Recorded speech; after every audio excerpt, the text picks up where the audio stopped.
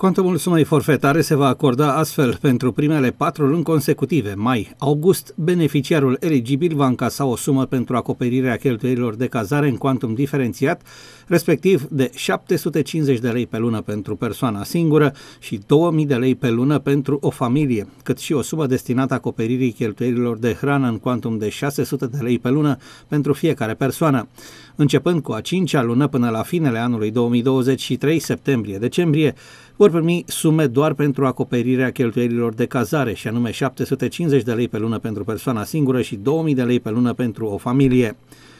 Cererile se depun de către persoana singură sau de către reprezentantul major al familiei cu domiciliul declarat pe raza municipiului Râmnicu Vâlcea în primele 5 zile lucrătoare ale fiecarei luni la Centrul de Informare a Cetățenilor din strada General Maghiru numărul 25, camera 4, program de lucru de luni până joi între orele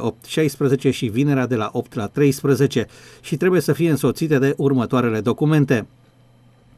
Copia permisului de ședere pentru beneficiarii deciziei de punere în aplicare 2022 per 382 eliberat de Inspectoratul General pentru Imigrări, extrasul de cont bancar deschis la o societate bancară de pe teritoriul României pe numele solicitantului, documente doveditoare a îndeplinirii condițiilor prevăzute în hotărârea de guvern numărul 368 per 2023. Termen de depunere primele 5 zile lucrătoare din fiecare lună, excepție luna mai, până la finele lunii calendaristice.